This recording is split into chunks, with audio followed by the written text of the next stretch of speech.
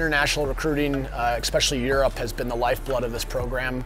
Uh, for the last couple of years, uh, we've had tremendous student athletes from Europe come to Denver and do great not only on the tennis court, but also in the classroom and build a great culture for our program.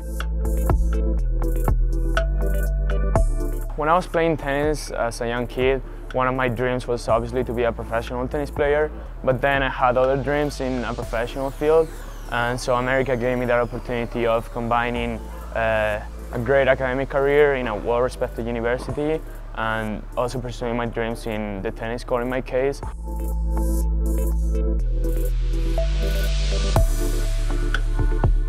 I think from a young age it was quite clear that I was going to come to America. Um, quite a few older players back home in England were all going to America and enjoying themselves so from even maybe 14, 15 I kind of knew that I was going to be coming to the States. It was just a matter of where I wanted to go.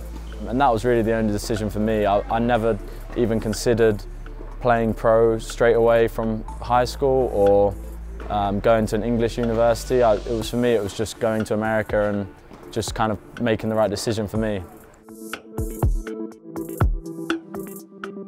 There's a lot of European guys on the team, so I felt like it would be an easier transition to be around sort of more more familiar faces. Like one of the guys on the team is was my roommate at school in England, and like to be in a sort of small community away from home was really appealing to me, as well as you know a really good opportunity academically and to develop my tennis. So it was all just a perfect fit.